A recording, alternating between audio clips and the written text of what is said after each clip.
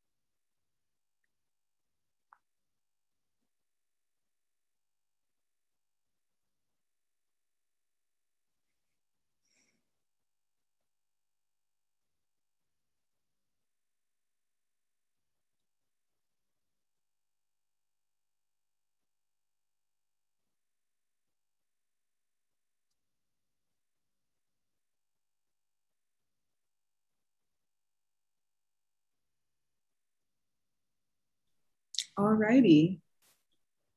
Let's go ahead and get started. Um, hello, everyone. Uh, bonjour tout le monde.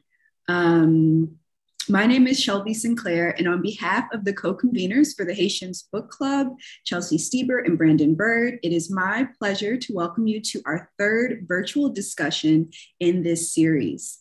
Uh, today, we'll talk about sovereignty and the state. Um, before we introduce our illustrious guests, I wanted to first say a little bit more um, about your listening options for today's conversation, um, then the book club's mission, and then also take a moment to thank our partner organizations and sponsors. Um, first and foremost, our conversation today is being simultaneously translated into Haitian Creole by two wonderful translators, uh, Nadine Modestine and Nadej Cherubin. Um, thank you, Nadine and uh, Nadej. Uh, please remember, um, and this is a reminder for us, um, for our invited speakers, and for all of you, um, be sure to speak slowly and clearly for our translators. Uh, if you would like to access today's conversation in Haitian Creole, please select inter the interpretation button at the bottom of your screen and then click Haitian Creole to join that channel. Uh, now, a bit about the book club. Uh, the Haitians, A Decolonial History is Jean Casimir's landmark work of theory and history. Oh, one second. Yeah, Theory and History, published first in French in 2018 and in English, uh, translated by Laurent Dubois in 2020 with UNC Press. This book club is designed to bring together students and scholars, both inside and outside the Academy, to a series of discussions with expert guests about the book and the major themes that Casimir addresses and reconceptualizes translation, slavery and freedom, sovereignty in the state, and colonialism and decoloniality. Our hope is that this forum will facilitate a robust discussion of a landmark book and provide a meeting space for people interested in exploring these themes in Africa and its diaspora across a range of geographic, disciplinary, and temporal contexts. To that end, uh, we really want to highlight the open, dialogic nature of these discussions uh, and to encourage your participation. For those who are following live today, the chat function is open and we're ready to take your questions and comments. Um, for those of you who are joining us today on YouTube, via the live stream, um, our comment box is open for you to ask questions or input comments there. Um, and if you're watching the recording right now, the comments section um, on our website remains open for discussion and ongoing engagement with the text and with one another. Um, for those who are new to the book club, please check out our companion website uh, and be sure to sign up for the email list. At any time during today's conversation, you should feel free to tweet using hashtag the Haitians Book Club um, and use that to share quotes from the text, um, any gems from our lovely speakers today, or thoughts that you're having about the discussion. Um, also, be sure to mark your calendars for our next session of the book club. Um, that's going to take place on Friday, November 12th, and we'll host a discussion of colonialism and decoloniality uh, with Marlene Daut Imam Batubian. Um, this discussion will take place from noon to 2 p.m. Eastern Time, which is a little different than today, um, and you can connect using the same Zoom link as you did today. Finally, Thank you to the Haitian Studies Association, the African American Intellectual History Society, Vanderbilt University, the Catholic University of America, the Humanities Council, and the Department of African American Studies at Princeton University for their generous support of this series. Um, without further ado, I'll turn it over to Professor Brandon Byrd to introduce our guest for today. All right. Great. Thanks so much, Shelby. I appreciate it. Uh, so yes, let's uh, let's get this thing going. Uh, let's introduce our guests, uh, who are uh, first uh, Chelsey L. Uh, Dr. Chelsey L. Uh, Kivland is an associate professor in the Department of Anthropology at Dartmouth College. Say recently tenured and promoted, so big congrats are in order. Uh, at Dartmouth, she te- writes and teaches about street politics, insecurity, and social performance in contemporary Haiti and the broader Caribbean. She is the author of Street Sovereigns Young Men in the Makeshift State in Urban Haiti, which was just published with Cornell University Press in 2020. Uh, and this is a really remarkable book. I should uh, should say that uh, it analyze uh, analyzes the potential and challenges of organizing politically in urban contexts characterized by poverty, insecurity, and government neglect. Her current project explores changing notions of citizenship, statehood, and the social contract through an ethnography of the global regulatory regime of criminal deportation as manifested between the United States and Haiti. All right, so welcome uh, to Chelsey. Next, uh, we have Dr. Nathalie Frédéric Pierre, who is an assistant professor of African diaspora uh, in the Department of History at Howard University. She earned her PhD in the history of the African diaspora with an emphasis on the Caribbean and Latin America from New York University. She's currently writing her first book, The Vessel of Independence Must Save Itself Haitian State Formation, 1757 to 1815. Uh, and I should say, having heard uh, Nathalie present uh, on uh, this work before, um, y'all are to want to uh, definitely pick this up. It's, it's coming and it's to be great.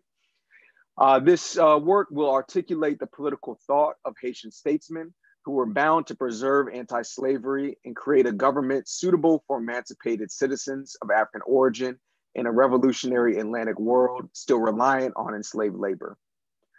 Previously, she was a postdoctoral fellow at the Graduate School of the City University of New York in the Institute for Research on the African Diaspora in the Americas and the Caribbean a Black Studies dissertation fellow at the University of California, Santa Barbara, and a Ronald E. McNair Scholar at Howard University.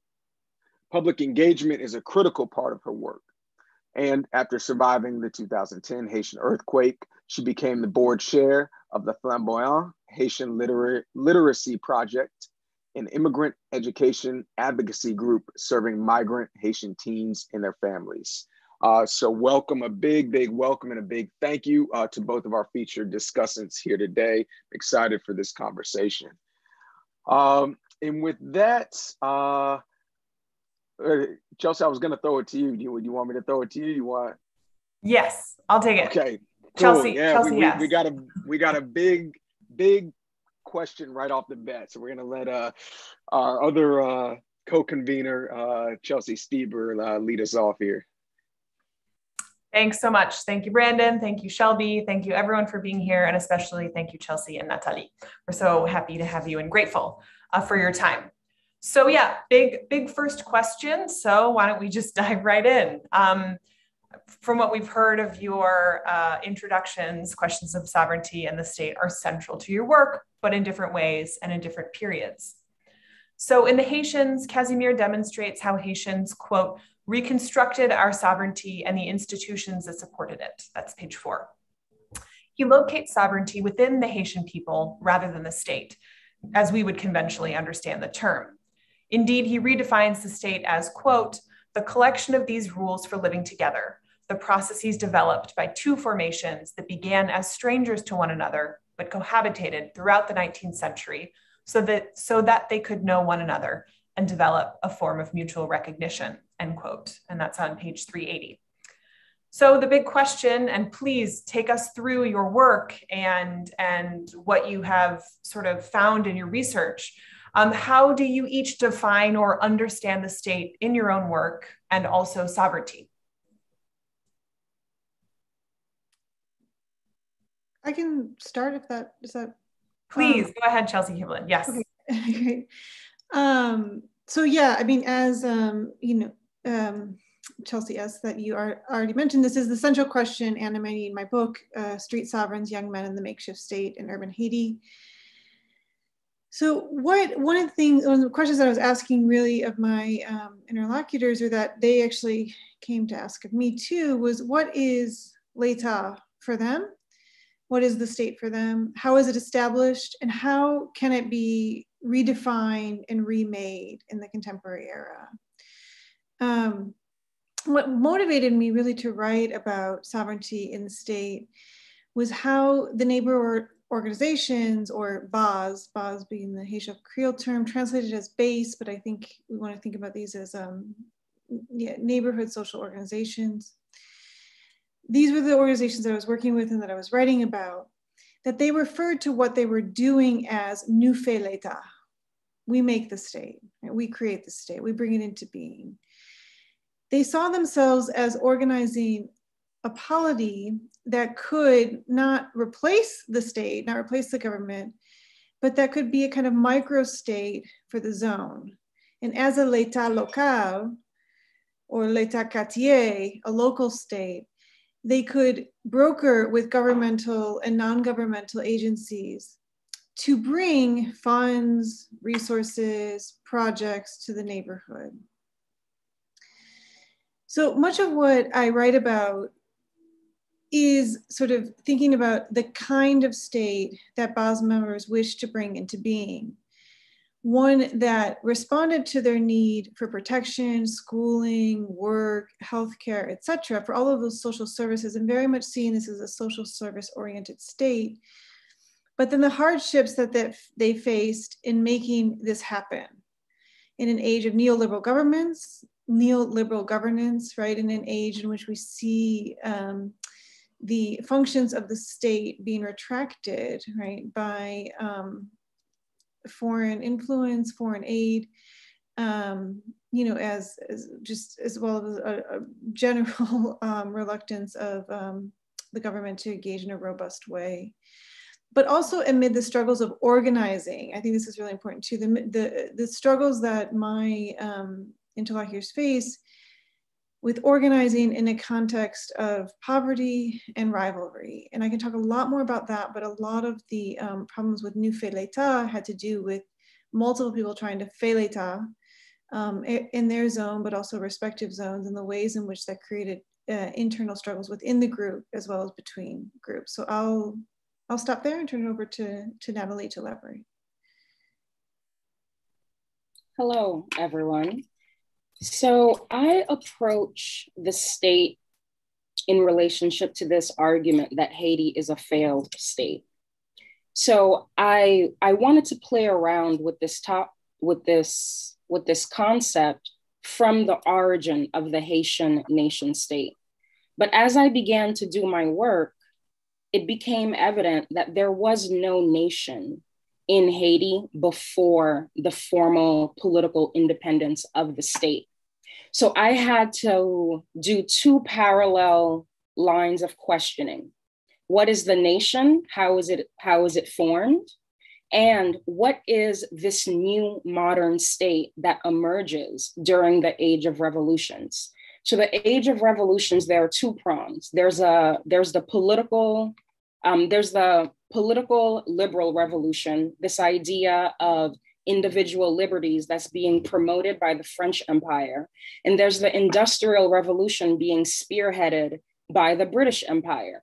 And we see in Haiti the, the, um, the combustion of both because the people who become the nation are adding some of the most lucrative commodities to the industrial revolution while at the same time being denied the political liberties advanced by the French Empire.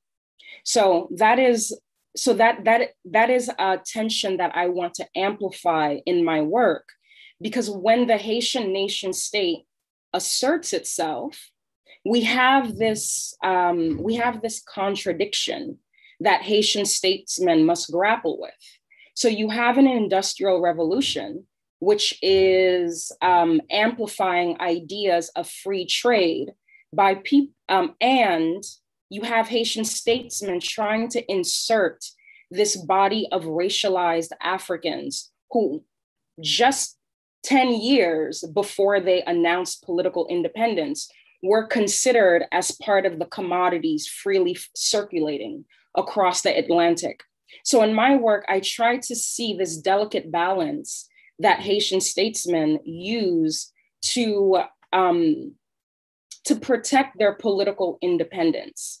And I'm very careful to not use the term sovereignty because sovereignty requires a level of international recognition at the state level that Haiti simply did not have. And Jean Casimir's work teaches us it was impossible to have.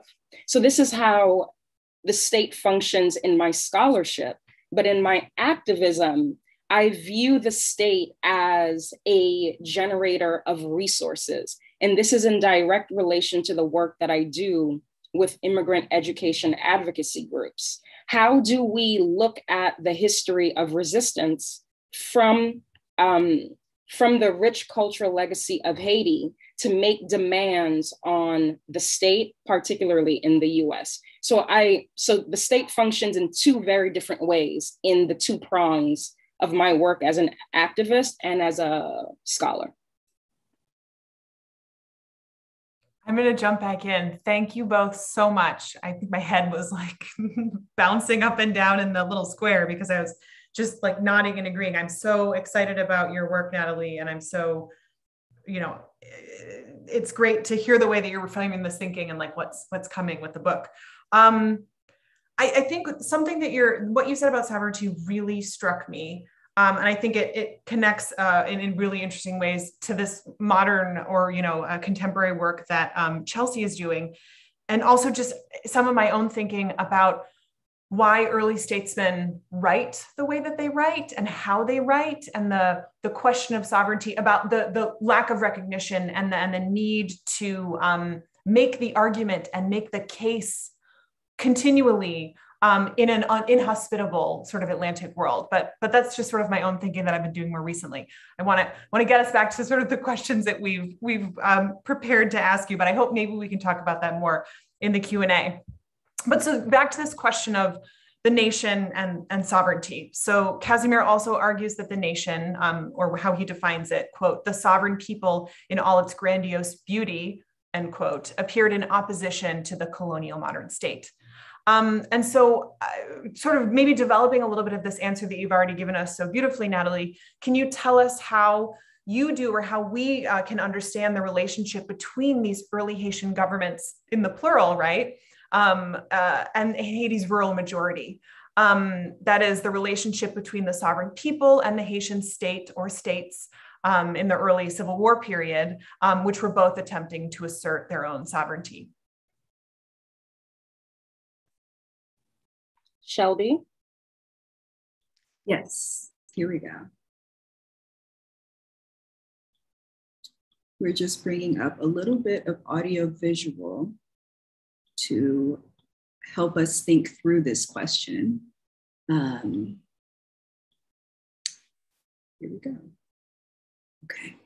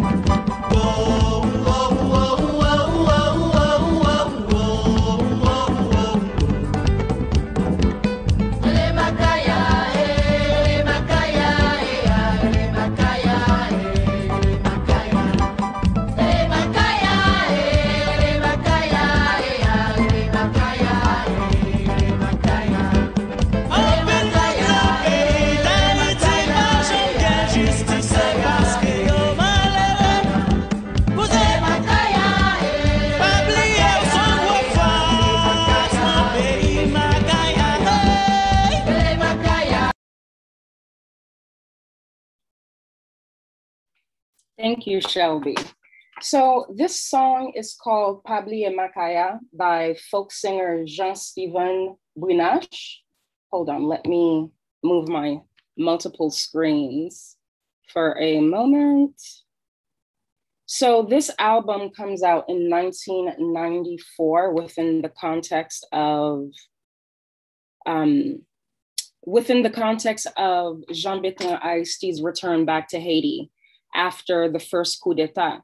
And as soon as I read this question, I immediately, the question about the sovereignty in, in, imbued within the people of Haiti itself, the song pops into my head um, because, as Casimir argues, the, the sovereign Haitian people are the ethnic African people who are the workers on the land and who use Haitian Creole to crystallize their sovereignty.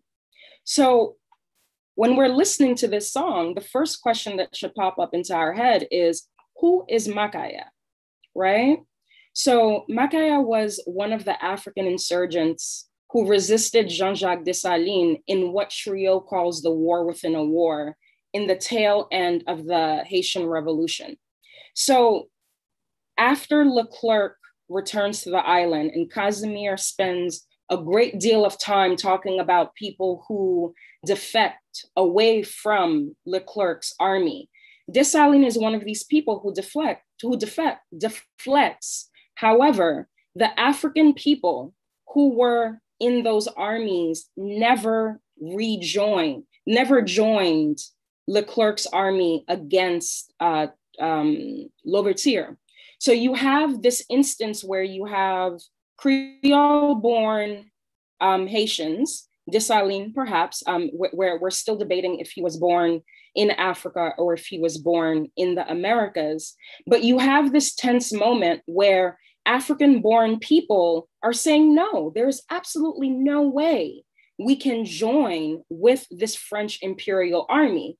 And Dessalines is sent by Louverture to um, pretty much subordinate what Casimir is calling the Guinea Haitians, right?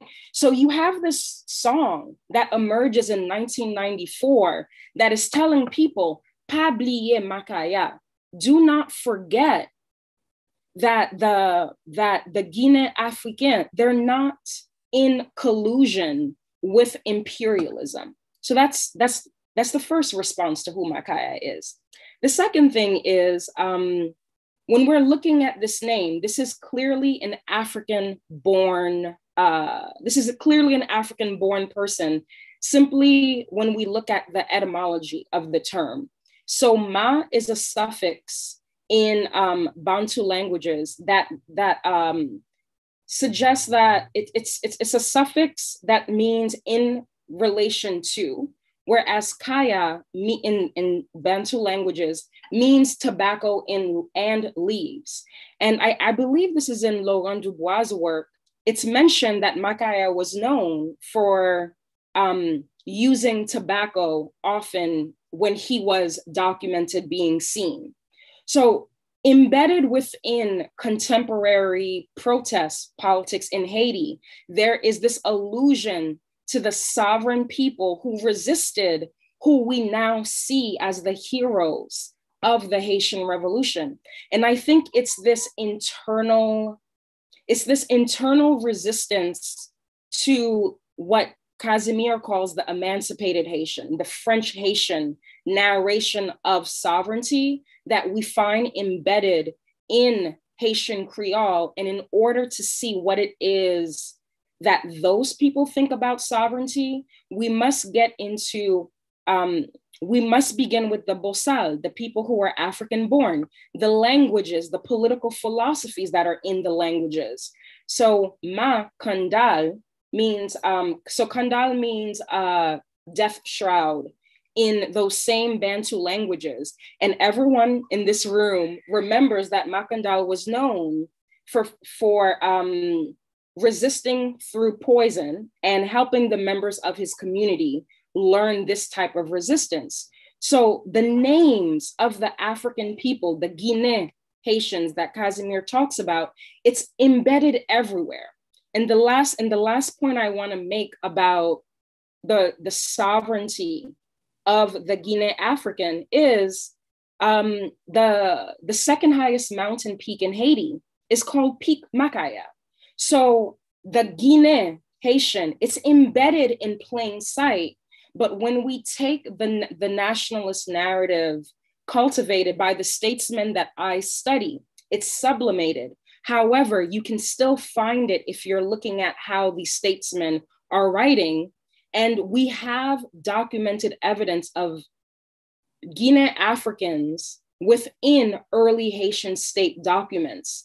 So even though my project highlights the Creole Haitians, the sublimated Guinea African pops up, and I try to tease that out to highlight the sovereign Haitian people that Casimir uh, proposes, uh, the, the theoretical framework that Casimir proposes for us to follow as we move forward in the field of Haitian studies. And I'll stop there.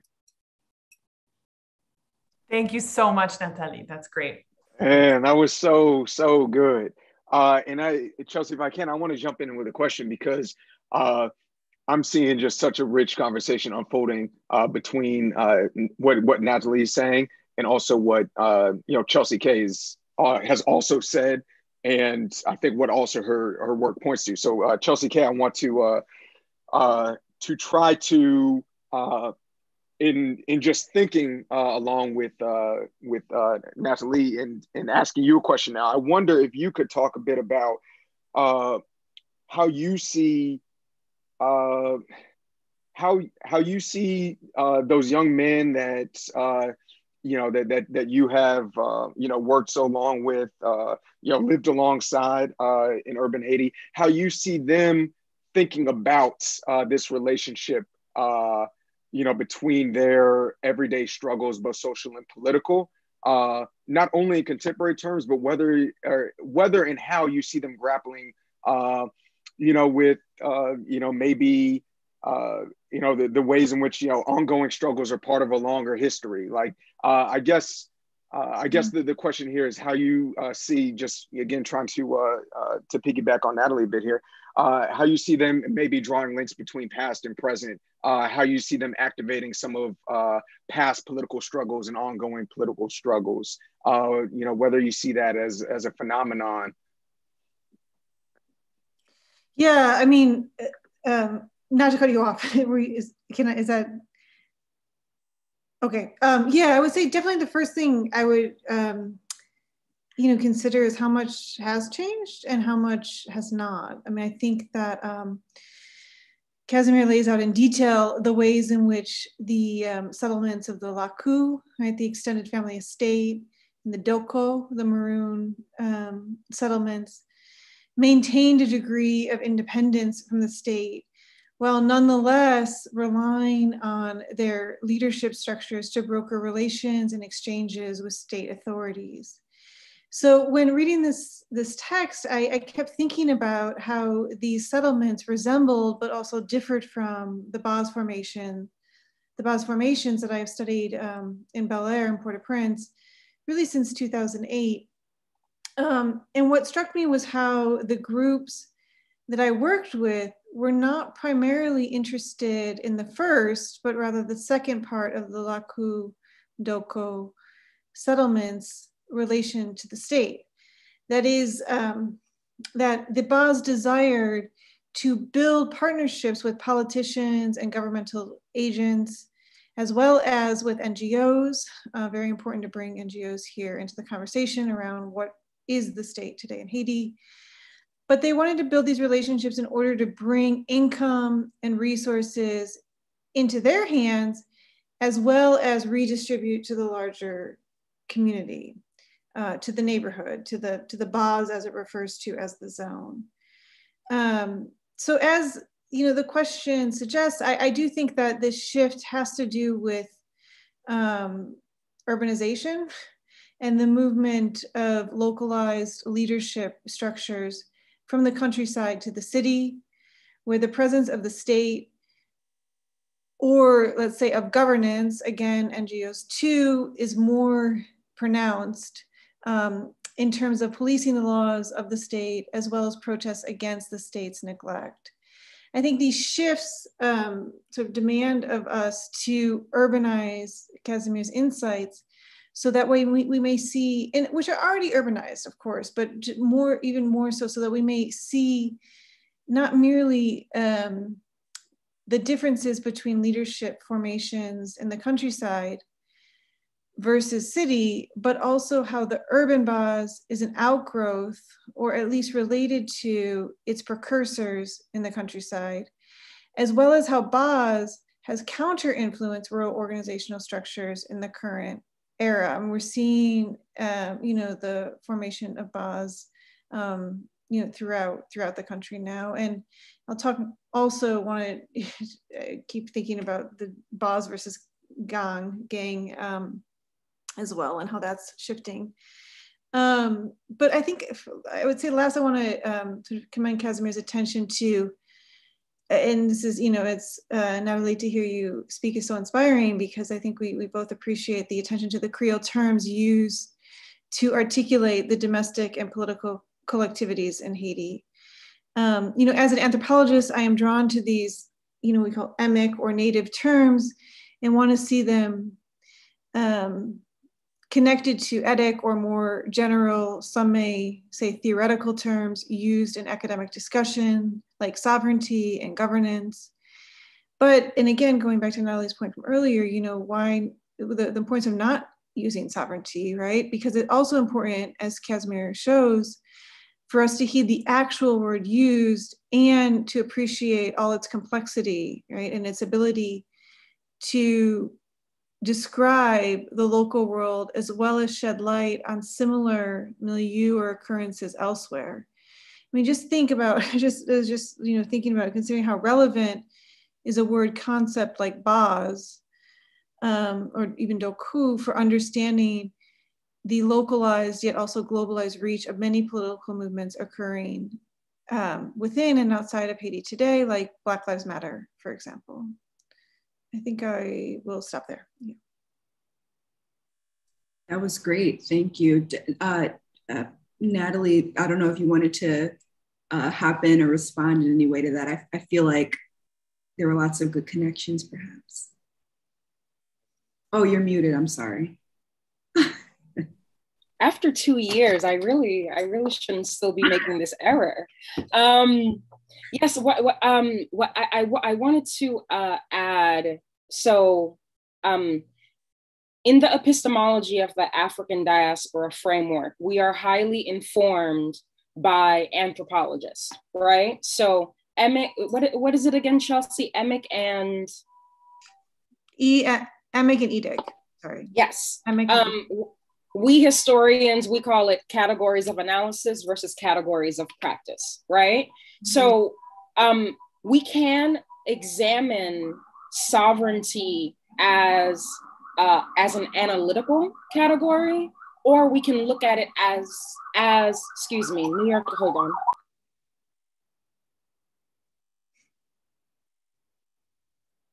I live on the same street as a hospital.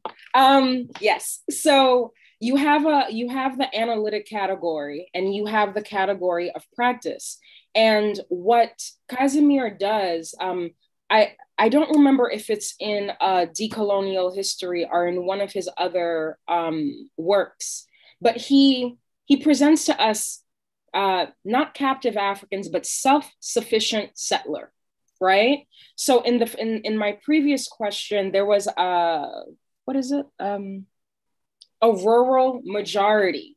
And my question about that like what what, what does the what is the analytic category rural versus city mean in early 19th century haiti or even now so um i i think that what i appreciate about casimir's work is that he's providing me with the analytical categories based on categories of practice so even though in my work, I rarely encounter ethnic African voices simply because of the nature of my sources.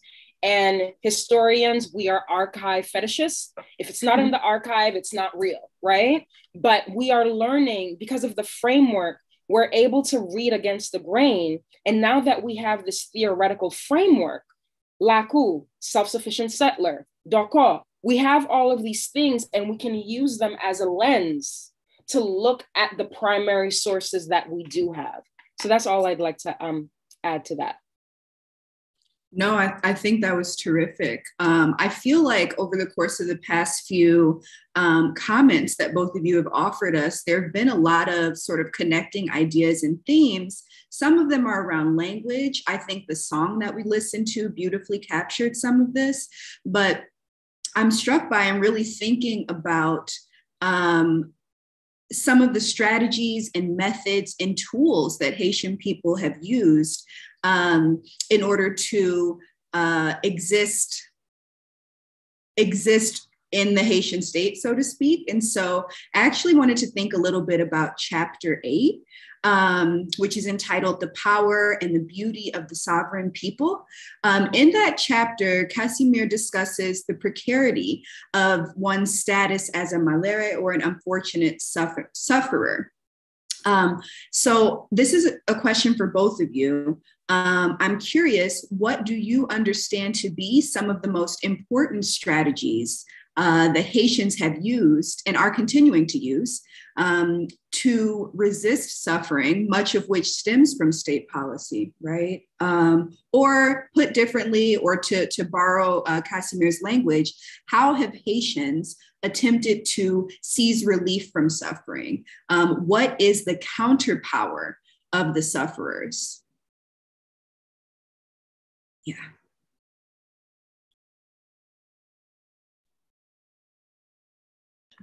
Whichever one. I think I would. Oh, Chelsey, okay? Yeah, Great. sure. I can go. Yeah. Um, yeah, I would say let me first draw attention to Casimir's really provocative and beautiful phrasing. Uh, this the quote right to seize relief from suffering and to do so by finding, accessing, and mobilizing the quote counter power of the sufferers. I really see the answer to this question in the identification of this counterpower, this articulation of this counterpower. There are so many ways in which I have witnessed the marginalized in Haiti resist and recast their suffering into acts of redemption, revendication, right? Very important concept as well. Um, the way in which will revindicate, right? Um, their their fates. Um, and you know, I definitely saw this in the solidarities um, that emerge as family members and neighbors share cooking, cleaning, and childcare duties. In the un et l'autre, the one helps another um, mantras that circulate among those who are often the least privileged to help, but find a way to do so. And then, of course, I saw this in the um, redefinition and remobilization of suffering in the Baz formations, which find a way forward despite all the challenges they face in organizing for their members' advancement and that of the neighborhood. They find a way to see the counterpower of the street. I think it's also really important the counterpower of the street here, La Rue and taking to the street to bring projects and resources into their neighborhoods. So for me, I definitely see the Baz and other forms of localized sovereignties as key to resisting um, the oppressive forces of national and global structures of power. But on a more everyday level, I also see the power of the counterpower, the power of the counterpower in the ways Baz members and really, I think Haitian people more generally can find the social energy and even joy or plaisir in fighting for a better future.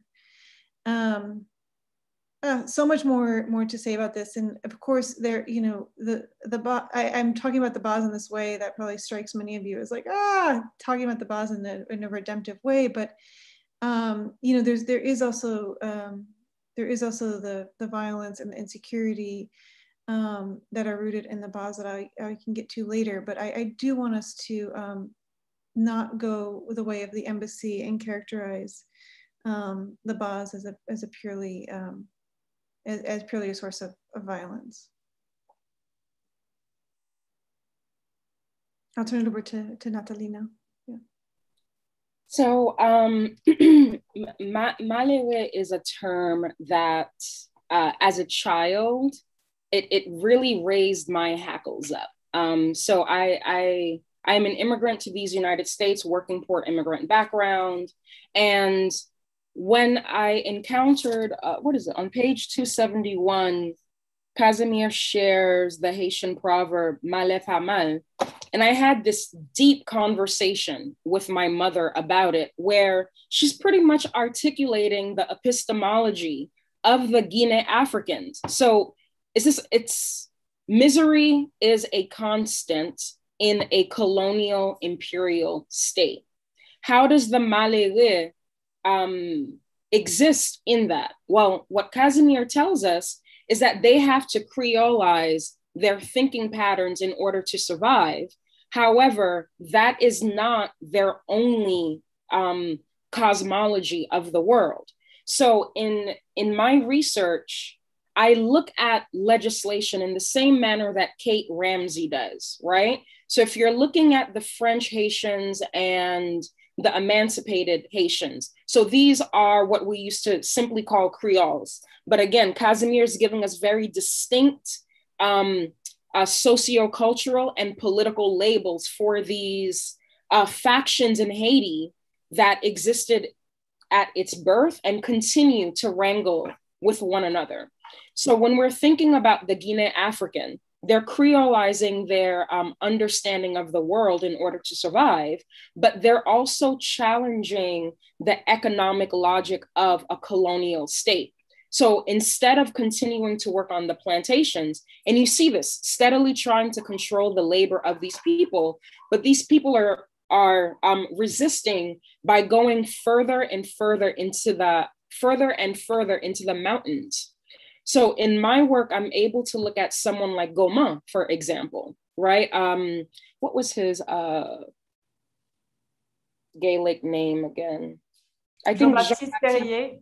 Okay. Yes, yes. So um, what's interesting about a figure like Goman is we we know both his uh, uh, uh, French name, but we also know his African name. And again, Maureen Warner Lewis, who is my, uh, who helps me interpret the African ethnic presence in Haiti, she makes this argument that Goma in Bantu languages simply means leader. So you have someone like Goma, a Maroon, who, ex- who is fighting with various French Haitians, emancipated Haitians, from the time of the revolution until, until one year before um, Christophe's suicide.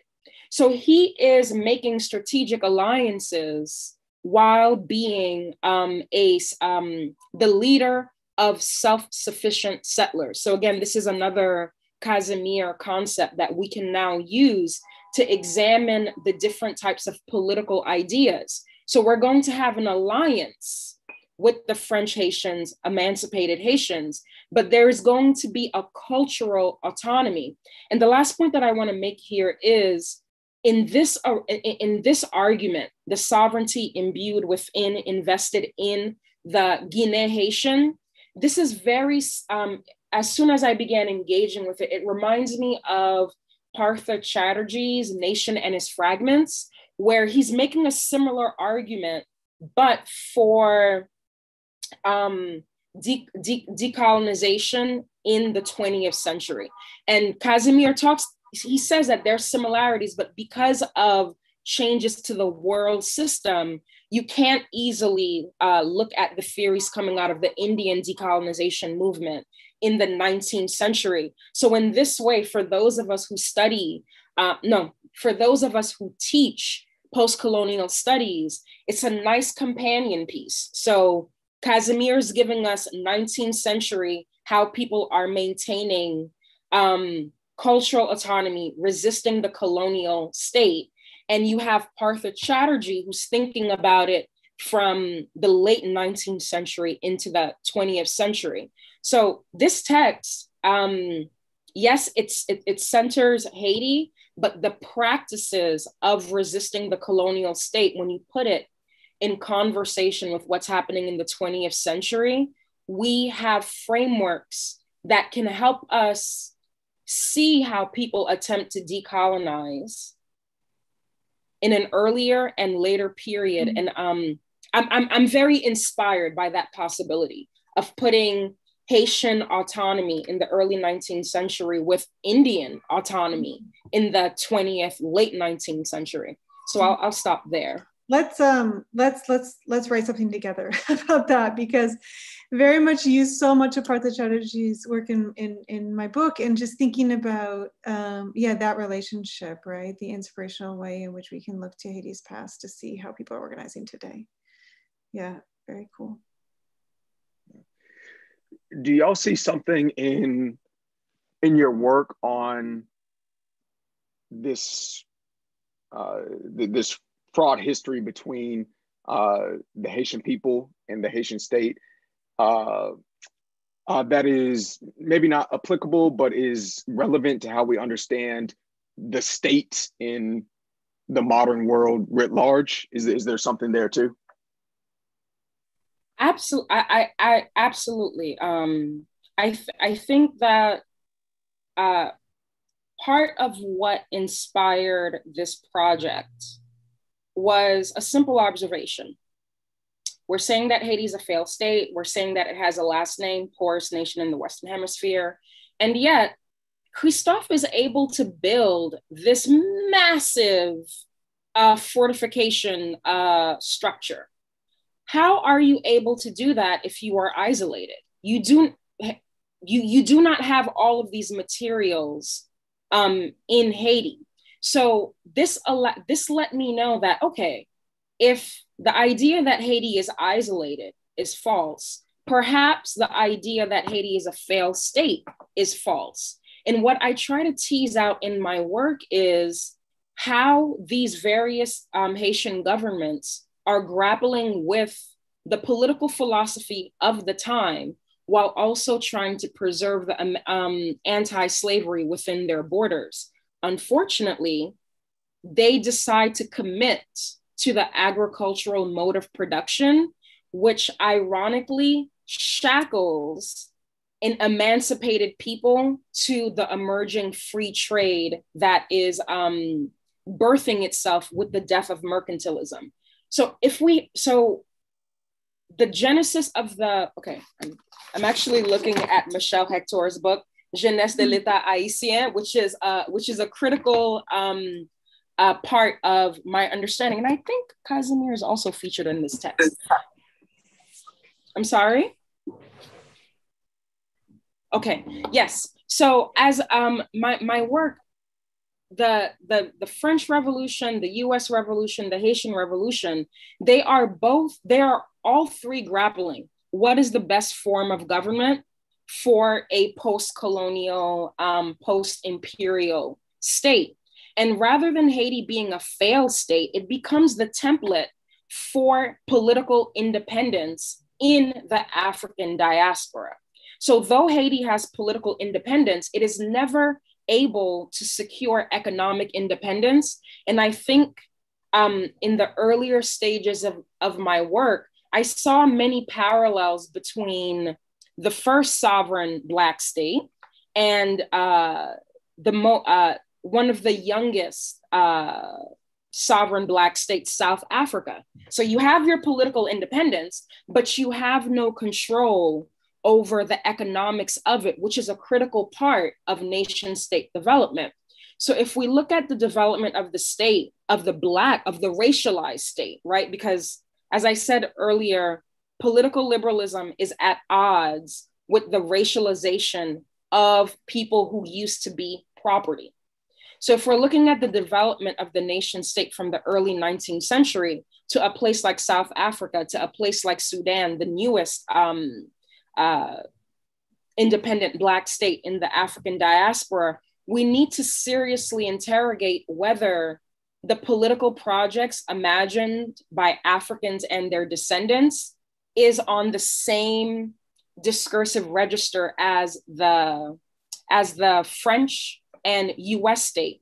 And my research uh, demonstrates no, it's not the same thing uh, because citizens are not conceptualized as racialized beings with, with uh, the etch marks of slavery on their backs. But this is what this Haitian statesman I'm dealing with need to propose, need to advance forward.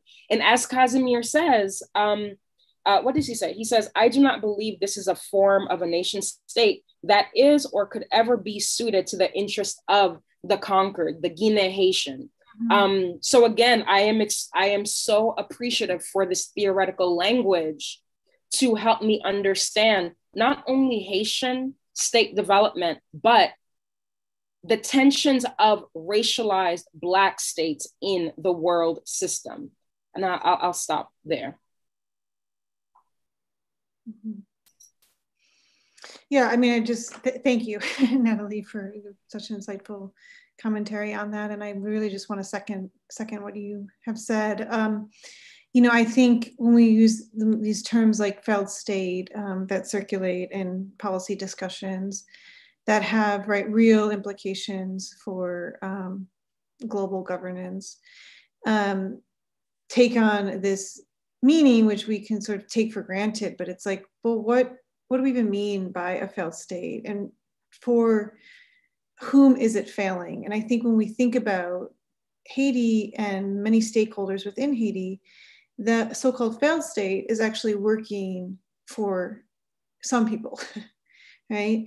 Um, which per- perpetuate its existence as quote unquote failed state. And I think what um, what I'm trying to take from my conversations with um, these urban militant organizations who are advocating for the defense of their neighborhoods um, to see the ways in which they are saying, wait, how do we, how can we remake this failed state anew, right? In a way that it's not the failed state, which is actually serving, um, you know, in a, in elite and, and also foreign um, body of interest, how can we make it serve the um, general population more? And, and, in particular with the groups I work with, with the urban poor, which is becoming um, the majority in Haiti. I think that's, that's also really just important for us to think about the urbanization of um, the Haitian state at this moment and what that means.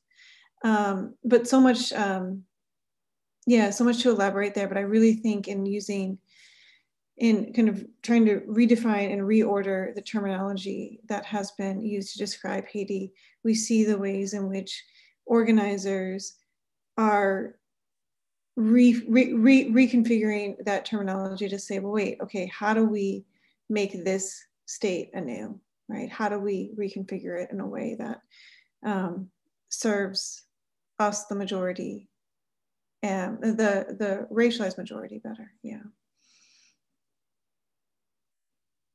Thank you both so much. Um, we're we're getting some questions in the chat. We'll give people a little bit more time to get those in, and then we'll open it up. So just one last question, and it's a little bit I don't want to call it a geeky question, but I, I it's for Nathalie to to really um, tell tell us what she thinks about um, specifically. I mean, you you mentioned Guinea uh, Haitians and sort of the Bosal and and the importance that Casimir um, um, uh, how important this is to his framework. Um, and so I wondered if you could say a little bit more about Vastey's writing um, and the way uh, Casimir is using um, Vastey and maybe how you are using Vastey in your work.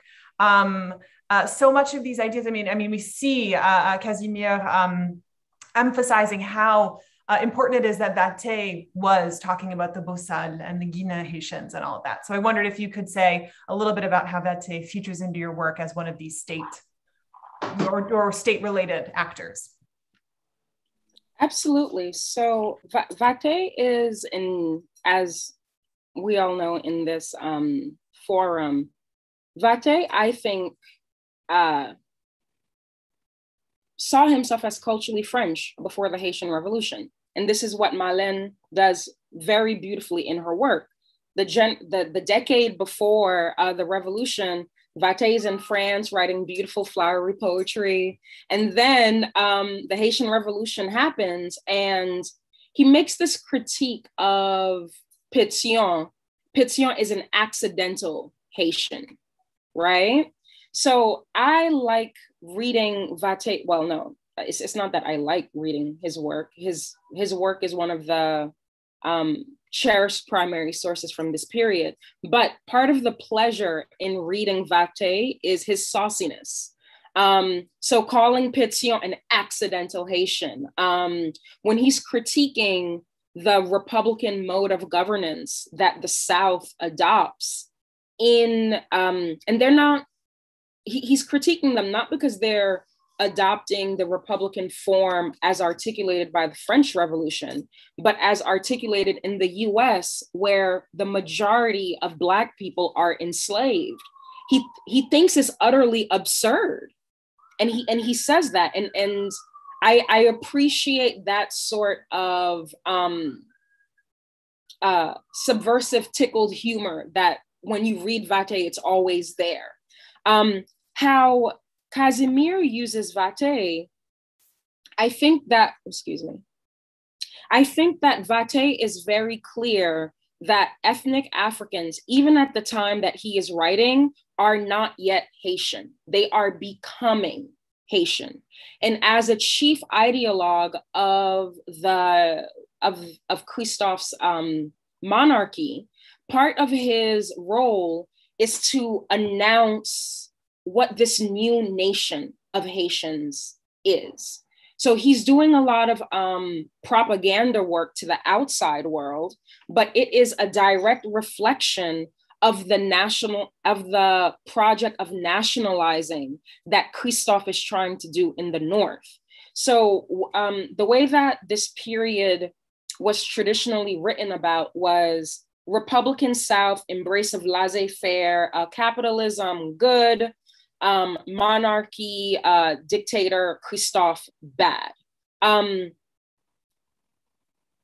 how, how, how, how can Christophe be a dictator when all Atlantic, uh, uh, um, Atlantic American states own enslaved uh, people? And, and these are the types of ironies that Vastey is always pointing out. But now that we are living in what some scholars call late capitalism, I'm not uh, if it happened after 1850, I have no idea what's going on. But this idea that capitalism is not uh, this purported good that it's it was written as being when we discuss the Republican South. So it's not that Pétion was, you know, more. Um, it's not that Pétion's republic um, was more lenient. is that they did not have the credibility to even attempt to nationalize the people in the way that Christophe did in his um, in his uh, part of Haiti. So when we're looking at what Vastey is writing to the foreign world, he is pretty much just writing down speeches, proclamations that Christophe is actively announcing um, in the North. He's telling these ethnic Africans, what it means to be Haitian because these people literally were not born in this country. They have a unique um, epistemology of the world that is very different from someone like Christophe. And if we're using the analytic category that uh, Casimir gives us, he is an example of an emancipated Haitian, but he's trying to tell them what Haiti is supposed to be and you see um, the clashes within the legal structure of the country, um, of well, of both Haitis. So let me see. Mm. Yes, so Vastey is again, Vastey is very clear. These people are not yet Haitian, but by choosing a monarchy, he's he is demonstrating his and Christophe's awareness that ethnic Africans are coming from African societies that are governed by similar political logics this is the king. He is working in your favor. So the, the fact that they're trying to educate the masses on what it means to be Haitian, I think um, that's something we ought to know about. Uh, Christophe's uh, monarchy um, and it's actually your colleague, um, Chelsey K. Uh, what is what is his name? Marvin, Marvin, um, Marvin Chochotte. He's also at Dartmouth. He shared with me, um, exactly. yeah, yeah, he shared with me Christophe's uh, Lancaster system of education model. This idea that you educate one group of students and then they educate the next group of students. So, all of these ideas, these blueprints of how to nationalize ethnic Africans into Haitians were interrupted with the downfall of the monarchy. And it's Vastey whose, whose um, commitment to uh, sharing with the world what Haitians were trying to do um, he is my first access into that. And um, frankly, I, I, I, he's a spicy writer, and I appreciate that. Um, so uh, I'll stop. I'll stop there. This uh, uh, this conversation about uh, Vastey, uh, uh, it, it, it brings me uh, it brings me back to a point uh, Nathalie, that you made earlier about some of the limitations that historians may impose upon ourselves of being bound to the archive. Because it strikes me that, it, well, I, I should say strikes me, but I'll, I'll pose a question like, um, methodologically or in terms of even how you approach, you know, history, how you approach your scholarly work, are, are you, uh, are you also maybe not inspired, but you also uh, draw some uh, some lessons or influence from uh, Vastey or uh, you know even Casimir in that regard too, because it basically like wh- where my mind is going is you know Vastey will will will write that you know he's spoken directly to uh, you know the victims of slavery, that he's interrogating the the tombs and the ashes, right? Uh, that he very much is somebody who is not bound by you know the things that can restrict uh, scholars, right? In ways that that you know you've advocated for here.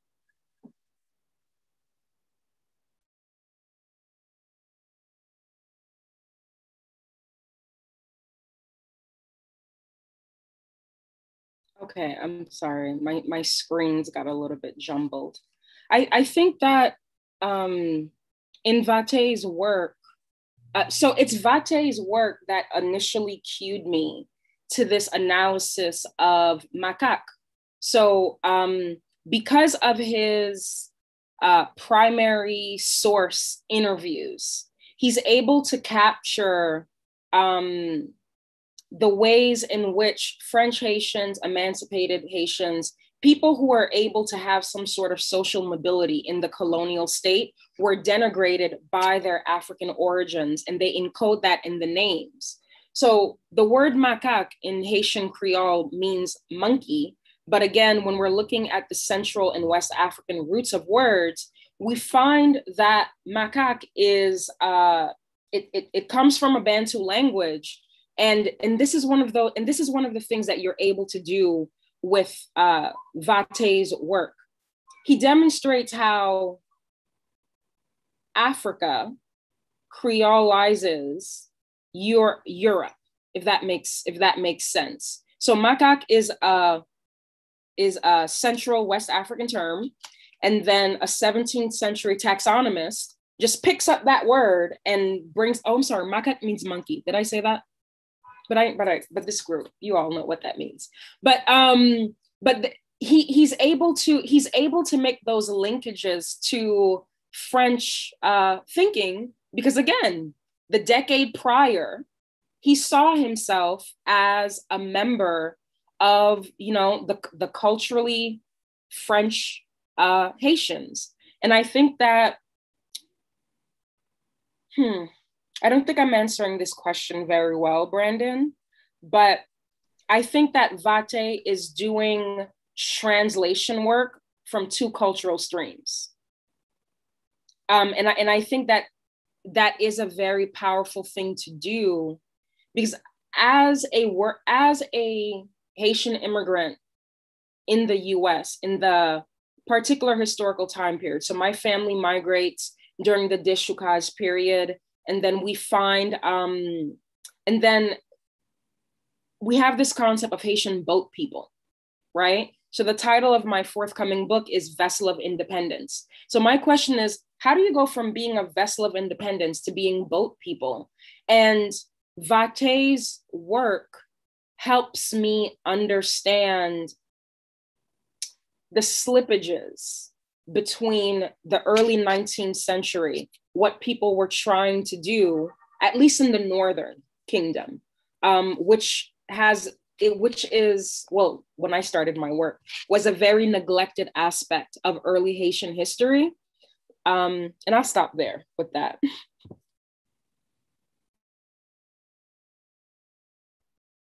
Thank you both so much. Shelby, do you want to uh, do a few of the questions? We've got a few now that have accumulated, so that's great. Yes, yes. So I wanted to actually turn it over to um, Willie Mack. If you're here and would uh, like to unmute and pose your question, I, I think you had one for Professor Kivland. Hi, yes, I'm here. Sorry, I, I uh, no can't worries. turn on my video today. Um, oh, hold on. Yeah, so my, my question is um, in 1994, the US invaded Haiti, and the US, along with the UN, prioritized establishing a Haitian police force based on Western ideas of policing, i.e., what we see in you know United States today: urban surveillance, protecting private property, and protecting the interests of the state. Uh, my question is, um, in this concept of policing, how have the the Baz engaged with policing in Haiti? Do they possess a policing wing? And if so, how does it work? Or do, do they resist or push back against US Western concepts of policing?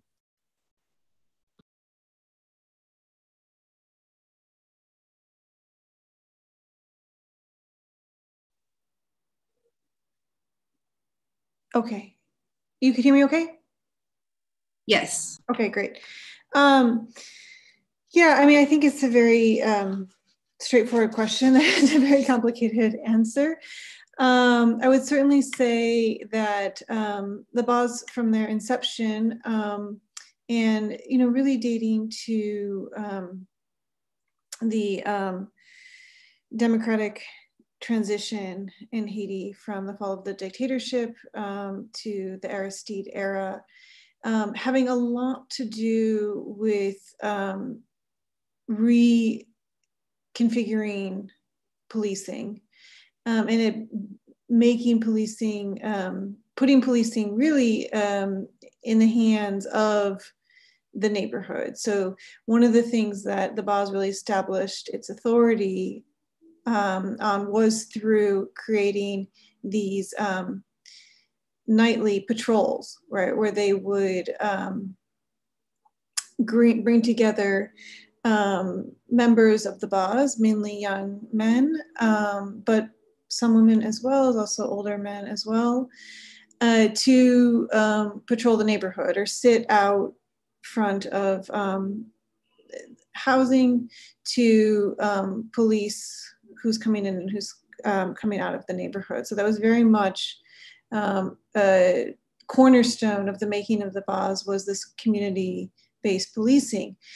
Um, but that was, you know, often in opposition to the um, police force that um, the UN, the international community, was hoping to bring um, into or attempting to bring into work in Haiti. So that being seen um, as a different kind of force that, as you said, was um, concerned with protecting private property, um, with um, uh, what to say, um, resisting protests among um, the um, urban poor and urban population um, to um, you know other forms I think of really kind of maintaining um, uh, the the existing class structure within Haiti. So the sorts of policing that the Baz was engaged with was more community patrols, though there are a number of Baz that, um, you know, even from the very beginning, partnered with police agents and with the police force in order, um, you know, to create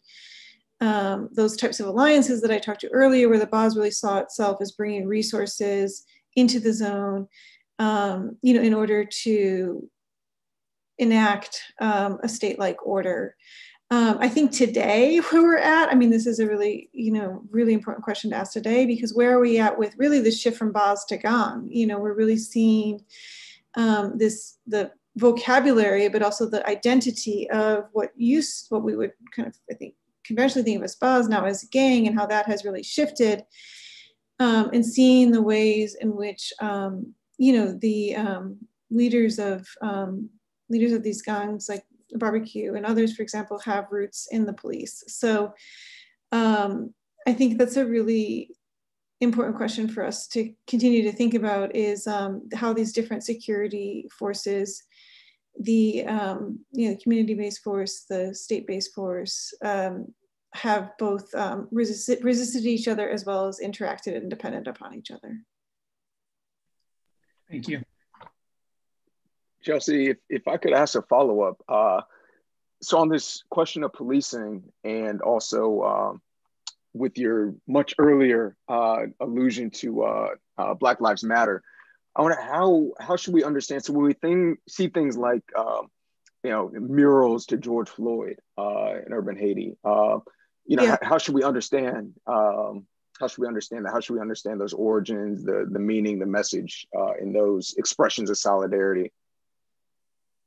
Yeah, I mean, I think exactly, you know, as they present themselves to us in many ways of seeing, um, you know, the ways in which people are using, um, you know, song um, or music, art, uh, poetry, protest to really think about, you know, how how do I c- critique the ways in which um, these institutions of um, power and policing have um, acted against us and thwarted our um, fl- flourishing, right, in, in life. Um, now, I, I think it's it's it's complicated when I am talking about oh, okay, so the Baz is engaged in um, a, a, security mission to an extent of um, protecting the neighborhood and that taking on police-like qualities, but very much seeing themselves as quite different than um, the kind of policing to protect the um, class structure as it exists, right?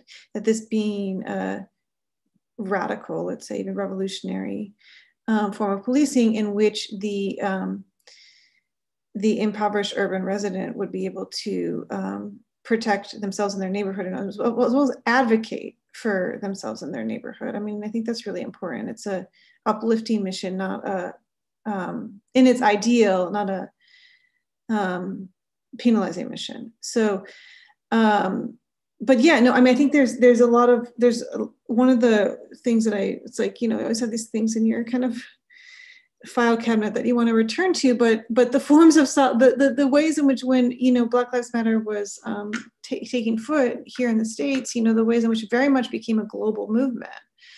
Um, but the U.S. I think public didn't pay much attention to that, but the ways in which um, places like uh, you know Haiti and in the West Bank and um, elsewhere really drew on um, really drew on what Black Lives Matter was trying to say and do and continues to say and do in, in order to invigorate their own movements. Um, and that we really need to see this as I think um, you know certainly certainly not you know deny the history of it being localized right and beginning in um, particular places but the way in which it's expanded beyond that to really create a global movement against the kind, uh, uh, a global movement to um, destabilize and really eradicate the kind of policing that we're used to to create a new form of um, that would securitize, let's say, um, yeah, the the the population, right, in all its complexity. Yeah. Um, thank you so much for that answer, Professor Kivland. I was, you know, thinking and still meditating on the question that we posed to both of you earlier um, related to sort of the counter power of the sufferers and thinking about um, community protection embedded in that, um, community care and support. And something that uh, occurred to me was thinking about um, some of the ways that um, Haitians have seized uh, or attempted to seize relief from suffering, as Casimir puts it, in terms of um, things that might be specific along lines of gender or using gender as a category of analysis. And so I, I wanted to pose this for both of you, um, thinking about um, some of these questions around um, uh, sort of resisting some of the sort of state imposed suffering, if there are ways that you see gender coming to play and how Haitians are navigating and making sense of state power in their day to day lives um, in, in, different temporal contexts, or, um, or if not so much. Um, that's kind of a selfish question because I think a lot about um, Haitian women in my work. Uh, mm-hmm. but yeah, curious about how we see uh, women, perhaps, or um, gender being something that's uh, critical for us to understand or think about as we're um, as we're making sense of how Haitians are coming into contact with the state or creating the state themselves. Thank you. Um, thank you for that question, Shelby. I'll I can respond to it quicker because uh, gender is not an analytic category that I use a lot in my work. Um, but what but what I can say from the legislation that I've read from Dessalines' government, they demonstrate an awareness of this the of the enslavement backgrounds of these new subject citizens. So there's this entire series of laws that's about um, uh, inheritance, the inheritance rights of children. So Dessalines, Dessalines was in office for 34, 34 months. Much of this legislation, I call them legal fictions because they never had the opportunity to be implemented in the country. But when you see a law about um, inheritance rights, and th- this this is not a little law with one or two articles. It's very extensive. It talks about uh, children who were made fatherless due to the revolution, children whose fathers are French exiles, and, and this very precise and it makes it, it makes us see a vulnerable category of people that are often erased in the early conversations about Haitians. So that's um, so so this is how women come into my work. Uh, so that the next bit, um, how women come into my work is, uh, I argue that the Haitian Revolution does not end until 1806 because slavery is still a challenge for um, Dessalines' government, Christophe's government, because occupying, um, there are French forces occupying Santo Domingo. And in the political imagination of Haitians, it's the entire island because Louverture had conquered. Uh, um, I don't like this word conquer, but um, I'm exhausted. Um, conquered uh, Santo Domingo in 1801. So in 1805, you have this French general who just rejects the victory of, of, of, of the indigenous army as led by Dessalines. And he has what he issues what I am calling an enslavement proclamation. And it's a political record that neatly categorizes uh, um, people based on gender. So he pretty much says that if people in Santo Domingo, in the borderland areas who were traditionally impoverished, if they capture Haitian people and enslave them, they will be compensated. But in that document, you see that um, uh, the, do- the, the enslavement proclamation targets children. Okay. Uh, they are interested in anyone who's older than 14. No, excuse me. Any male that is older than 14 is immediately shot. Someone who's younger than 14 can either work on the island or be shipped off to North uh, to the Carolinas in exchange for rights. So we need to remember in the in Dessalines period, well, in the entire period of my work, you still have the Napoleonic Wars raging. And we must always remember that um, Napoleon was a fearful person during this time period. So Dessalines, uh, Dessalines' army they are trying to combat this enslavement proclamation. And in the letter that comes with this enslavement proclamation, Shelby, uh, this general says, um, really, really ominously, will keep the girls who are above 14. Now, we need to recall what uh, Moreau de Saint-Méry said about um, uh, Creole children who are not allowed to be children long enough. I, I'm, I can find that citation for you, but he's clearly alluding to Creole born um, Creole born girls being used as sex workers. This is a time of war, but you really have to tease out um, gender analysis from these types of records. And this is how I've been I've been able to amplify women and children in my work. Um, it's sparse, but it's what I have to work with. Yeah, that makes lots of sense. Um, I think uh, that is uh, connected to some of what was said earlier about the challenges with um, sort of a, the fetishization of the archive for historians in a way. I think finding Haitian women, finding Haitian girls um, at, in different points of Haitian history can be really challenging. I don't know if you wanted to jump in, Professor Kivland. Um, if not, we have another question from, um, from Stephanie as well. Um, why don't we, I, I could try, why, why don't we take Stephanie's questions and then I can try and respond to both? Yeah, is that? Yeah, Stephanie, if you feel comfortable unmuting and sharing your question, that'd be awesome. Sure, um, can you hear me? Yes. Okay, uh, first of all, this is awesome um, and this is making my day. Um, and it's been awesome to have this companion while reading um, The Haitians. So thank you for all of this. Um, oh, sorry. AirPods falling out. Um, I was just struck um, by thinking about the Baz as sort of this counter, um, uh, this another parallel state structure to NGOs, um, and um, hmm. thinking about um, you know the, the small neighborhood NGOs that also exist alongside the Baz. and I'm curious about how you see those sort of working together. Um, and then I also was just, you know, every time as I'm reading Casimir, I'm thinking about these counter production, uh, counter plantation models. Again, super focused on the rural. And as, you know, as Haiti's gotten so urban and the population has gotten so big, you know, how does that, how does that change sort of models of economic resistance? And lastly, I guess I'm just curious as all this, all this talk about rebuilding Haiti, Haiti has failed state, you know, it's said sort of before like you know, France, Canada, and US gets to decide how to fix said state as their little project.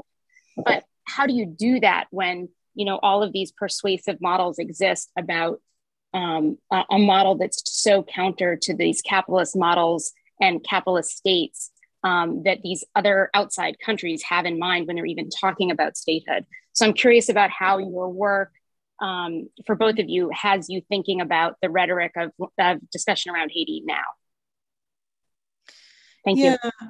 I'll take up a couple of, of for, uh, and bring me back if I if I'm not touching on all of your points. But um, I think one of the things that um, you know that I also want to think about is the how the Baz and particularly its like governance mission being localized, how that um, you know certainly I think relates to long-standing models of um, what's what to say um, localized sovereignties like like the Lakou, for example.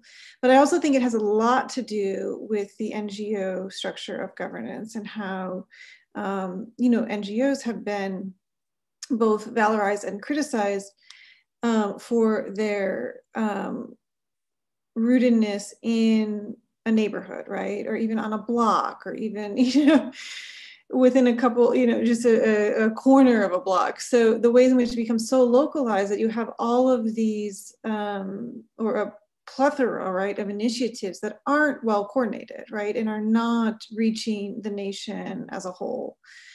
Um, and so I think um, we need to see that as both. I think we, we need to see the the the lo the localization of the Baz structure of governance as um, certainly advocating for the neighborhood, but also being um, positioning oneself in a way to partner with the NGO that is going to do their street corridor project or their, you know, pave pave the the, the corridors or do a food distribution, you know, or sort of small scale project. Um, it's I think it's you know both the potential as well as the great limitations of um, the NGO model. Um, yeah, and I, I really struggle with that because I, I want to see um, the ways in which the Baz is advocating for the community, but I also want to um, be aware of that that um, can limit the scope of the public, right? And so it's it's it's challenging in that way. See, and I'm already for. There were a lot more questions too as well. Do you want to? Um, yeah. No, I was just curious because I think about like you know friends in Martissant uh, and Fontamara who have their little their little self-made NGOs, and then they're the big foreign NGOs, and then you have the Baz, and I'm, I'm, just it's it's just fascinating. And then the state's nowhere to be seen in conversation with all of those. So I'm just uh, yeah. fascinated how yeah. Yeah, I mean, I think that's really important, and I think we need to do as as scholars and as you know just commentators on Haiti. I think we do a lot. We need to do a lot more to differentiate um, the um, kinds of organizations because you're exactly right. I mean, so you know the um, the Baz will refer to themselves as an organización social, organización local, but not an NGO. No, NGOs are part of the state, right? They're or they're seen to. Uh, yes, we're recognizing that they're they're different than the federal government, but nonetheless, on you know the, the big NGOs, right? Like your your USAID, um, your um, you know. Uh, Agence there's so many ways in which you have these larger NGOs that that the um, you know people in Bel Air and your your impoverished neighborhood quartier are going to see as um, those in power, right? As much as you would see the state in power. So um, I think it's it's, but then you also have a lot of diasporic, right, sponsored NGOs, which can be on the level of the Baz in terms of their community relations. So yeah there's a i think we need to do um, I, I, hate to use the term civil society just because i see that as very much you know contested in haiti but i think we need to do a better job of mapping um, the different kinds of um, organizations that position themselves as um, you know social organizations in haiti. Yeah.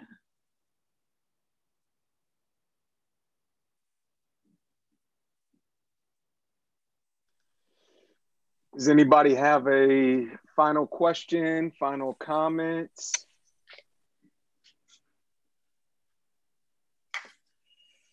Oh, I just wanted, can I just say something about this going back? Because I didn't really address the, the, gender question at all. And this is something like Shelby, you've raised for me in the past and really want me to think about more. But to see, I, I, do see one of the things I write about quite a lot is the masculinization of the Baz and how it is um, a masculine form of form of power um, that is being um, advocated and nurtured within the Baz to the exclusion of, um, of women. But at the same time, um, you know, there are um, female dominated Baz and, and that's become more of a um, phenomenon in, in Bel Air where I'm working, where you actually see um, the breakdown of one Baz lead to one, one of the one of the Bazes which I worked real closely, um, they sort of fragmented and uh, female dominated Baz came out of came out of that. So um, I think it's just um, I, I, think when we see the ways in which um, the Baz has sort of modeled itself on a localized state, we also can see the ways that that has been gendered masculine for the most part, um, though there is um, there are ex exceptions to that, and I think there's a growing movement to create more um, female-dominated urban organizations. Yeah. Thank you for that. Um, I think that's a really great note for us to wrap up on. Um, I think that over the course of uh, the discussions that we've had about the text so far, there have been so many really, really helpful insights for folks who are thinking through and with and alongside Haiti. And I, I can say that this conversation was no exception to that. Um, huge thank you um, to Professor Kivland and Professor Pierre for spending time with us on a Friday and, and, and sharing more about their work and helping us to read Casimir better. Um, so yeah, thank you so much. Merci. Um, thank you. um, so just a reminder that our fourth um, our fourth convening, uh, virtual convening, is taking place on November 12th, and we'll meet at noon. Um, we're really, really excited for that conversation and encourage you to join us. Um, you are always free to engage with us on our companion website um, or via Twitter or however you see fit. We're here to answer your questions and help support as you continue reading the text. Thanks everyone for spending time with us and have an amazing weekend. Thanks so much. Bonsoir. Thank you. Merci, merci, merci. Thank you so Thanks, much. everyone. Mm-hmm.